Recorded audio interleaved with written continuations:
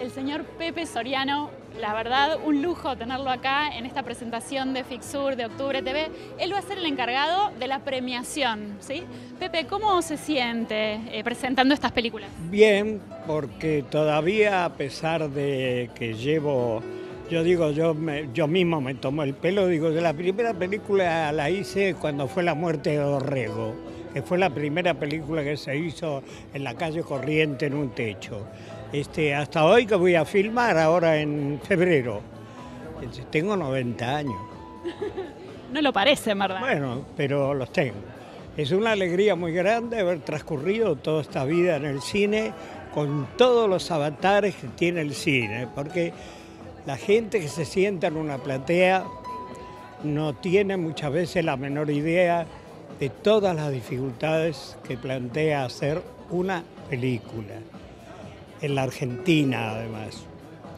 Y ahora, en este momento, tenemos una gran competencia, inclusive en la televisión, con Netflix, con Amazon y todo. Bueno, y ahí estamos en Sagay tratando de ver si, junto con los norteamericanos, hicimos un convenio, si podemos llegar a cobrarle los derechos. Han cambiado los tiempos. Yo vi transcurrir casi todo por los años que tengo.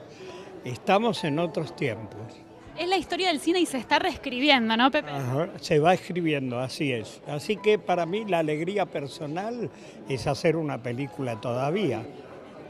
Este, estar en el, en el mundo del cine. Ahora eso sí, me encuentro con gente muy joven que no conozco. Y claro, porque todos los directores, los productores del tiempo en el que uno filmaba eh, no están o están retirados, o están enfermitos, o están muertos. Pepe, ¿y qué le pasa cuando ve a esta gente joven? ¿Lo sigue sorprendiendo el cine? Me encanta, me encanta porque ya hace unos cuantos años que estando al frente de Sagay he tenido la oportunidad de estar con gente muy joven. Los actores jóvenes, todos, son cantidades.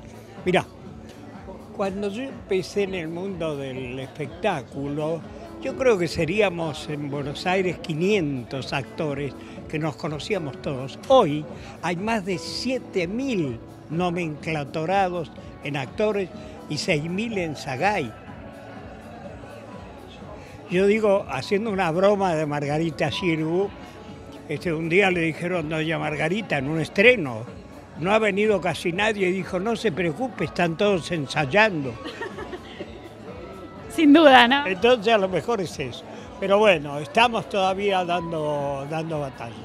Lo bueno es que el cine está vivo en producciones que son pequeñas, con una calidad altísima. Sí, sí, sí, con gente de talento, con gente de un gran amor por el cine y que además también se están realizando en lo que hacen. No es un problema de dinero, es un problema del alma, realmente.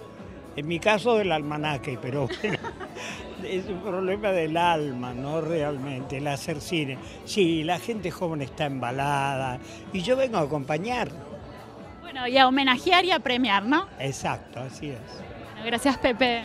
Muchísimas gracias este, y a la gente que pueda ver esto, no deje de ver cine nacional. Seguimos siendo competitivos en el mundo, aunque aunque no tengamos la promoción que tienen y tuvieron y tendrán los actores de Hollywood. Es un problema de producción también, ¿eh?